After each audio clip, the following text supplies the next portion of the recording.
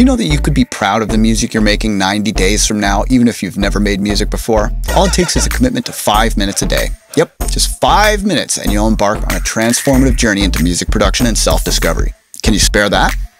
I'm ill.Gates, and I've spent 20 years distilling my experiences with Grammy winning artists, making tracks played over 65 million times into something epic for you the producer's path.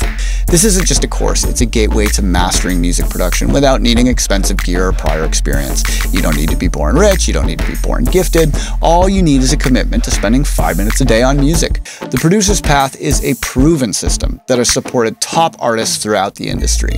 And now it's your turn to access these secrets and forge your own unique sound. As you journey through the 12 levels of the producer's path, each step designed to build your skills and confidence, you'll not only learn music production, but also discover how to express your individual style, breaking the rules like a true artist. Join our vibrant producer dojo community, get feedback on your tracks, and maybe even feature on a dojo mixtape. With no subscriptions and free updates for life, your path to music mastery is evergreen, and you can come back again and again and again, getting more out of it each time.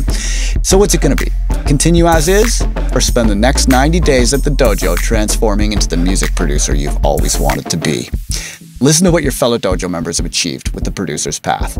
Their success stories could be yours. I started from zero. Dude, the way you laid it out, here's what you do first. It's amazing. The habit tracking changed my whole mindset. Honestly, huge breakthrough. Huge difference. Comprehensive. Game changers. It gives me goosebumps. Just blows my mind. That's when I was like, okay, I can make music. I'm actually doing some art. Making music felt more real at that point. To understand, hey, I'm doing this shit right. I can show my children's children who I was. Other people have been saying it sounds good. Everybody's, oh, that's pretty cool. It's pretty exciting. Never found the answer until I went to the producer's path.